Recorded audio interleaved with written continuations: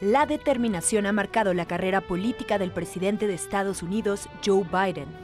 A los 29 años se convirtió en el sexto senador más joven en la historia de este país.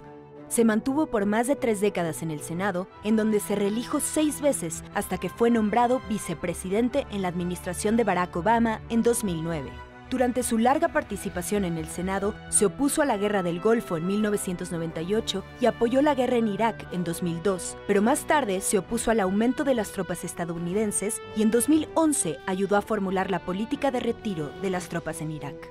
Como vicepresidente, Biden fue reconocido por Barack Obama con la distinción de la Medalla de la Libertad. Conocer a Joe Biden es conocer el amor sin pretensiones el servicio sin vanagloriarse y vivir la vida al máximo. Su vida política ha corrido en paralelo a una trágica historia familiar. Perdió a su primera esposa y a su hija en un accidente. Seis semanas después de mi elección, todo mi mundo se alteró. Mientras estaba en Washington, contratando a parte del staff, recibí una llamada. Mi esposa y mis tres hijos estaban haciendo compras navideñas y un choque entre un tractor y un camión mató a mi esposa y a mi hija y no estaban seguros si mis hijos vivirían. La tragedia volvió a llamar a su puerta cuando el mayor de sus hijos murió de cáncer cerebral dejando una viuda y dos hijos.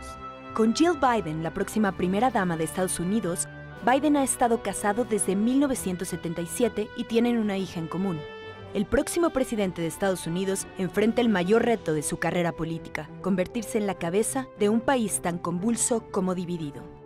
Para el financiero Bloomberg, Valeria León.